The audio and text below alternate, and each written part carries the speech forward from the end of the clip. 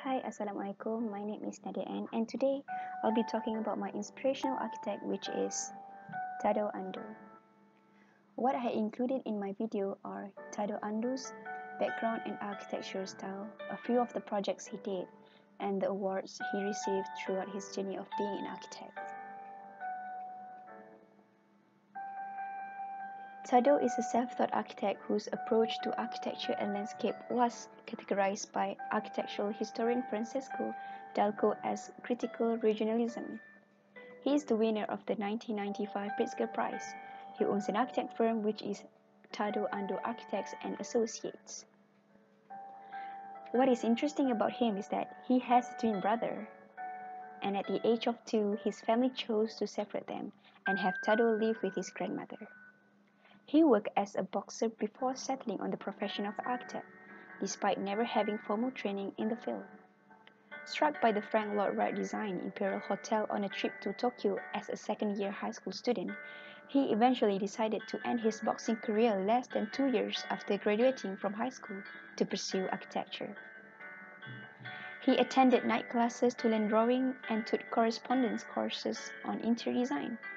He visited buildings designed by renowned architects like Le Corbusier, Ludwig Mies van Beers, Frank Lloyd Wright, and Louis Kahn before returning to Osaka in 1968 to establish his own design studio, Tadao Ando Architects and Associates. As for the architectural style, Ando was raised in Japan, where the religion and style of life strongly influenced his architecture and design. Ando's architectural style is said to create a haiku effect, emphasizing nothingness and empty space to represent the beauty of simplicity. He favors designing complex spatial circulation while maintaining the appearance of simplicity. He keeps his Japanese culture and language in mind while he travels around Europe for research. As an architect, he believes that architecture can change society, that to change the dwelling is to change the city and to reform society.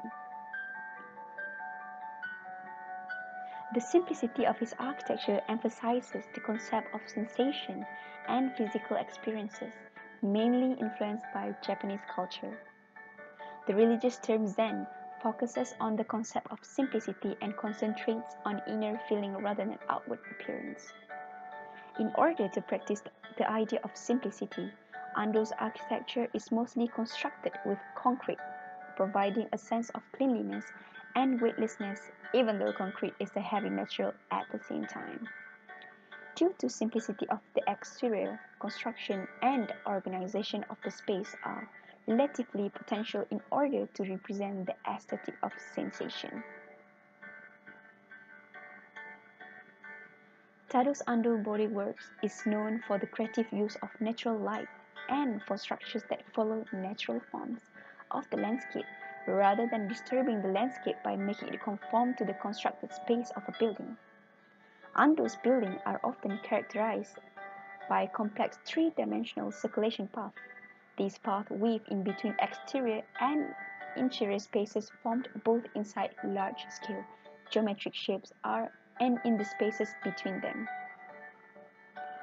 These are the example of the material he uses, mainly concrete.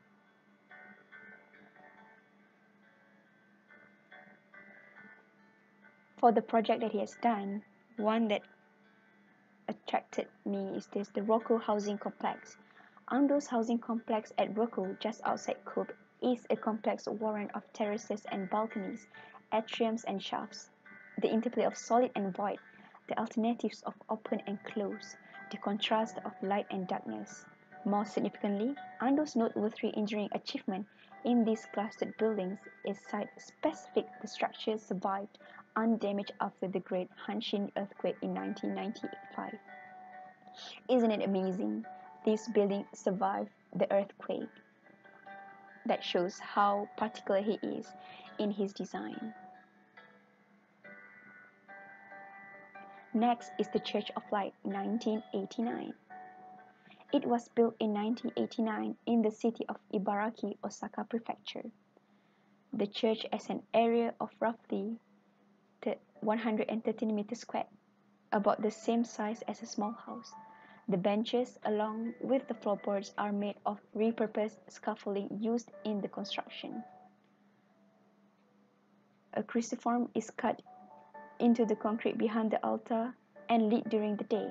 Intersection of light and solid, the occupant is meant to become aware of the deep division between spiritual and the secular within himself or herself.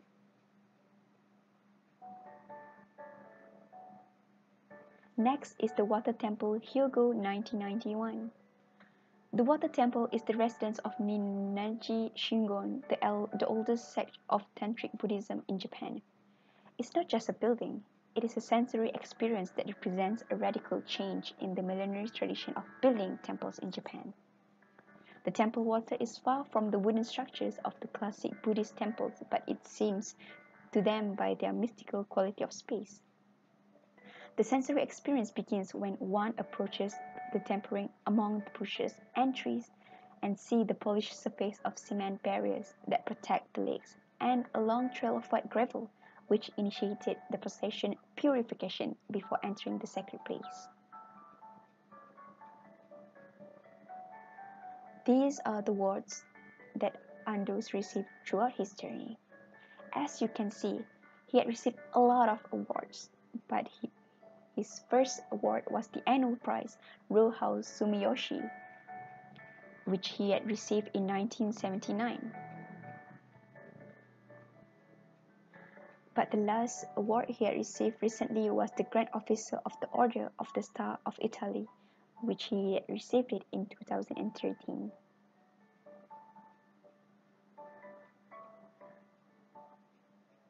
Tadao quartz with which inspires and brings up the architecture spirit. He said that you cannot simply put you cannot simply put something new into a place. You have to absorb what you see around you, what exists on the land, and then use that knowledge along with the contemporary thinking to interpret what you see. Next, he said that I don't believe architecture has to remain has to speak too much. It should remain silent and let nature in the guise of sunlight and wind. And that's all from me. Thank you for watching.